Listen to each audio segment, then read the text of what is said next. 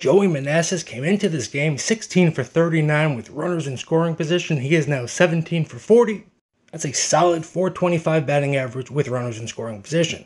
Tommy Pham, 0 for his last 13, just misses this one.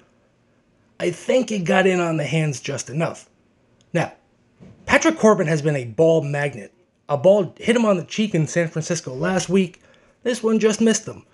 Marte steals second, ball gets away. Marte's on third. Pretty ugly baseball right now. Line drive by McNeil, base hit 1 1. But it's going to get a little bit uglier for the Mets before it gets better. Base hit by Escobar, so we have first and second.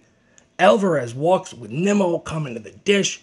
Where the hell are you going, Francisco Alvarez? Look how far he is off the bag. He is a dead sitting duck.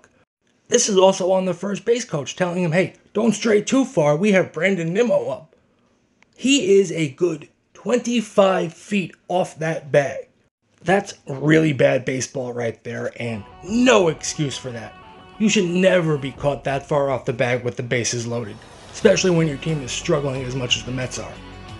Mm.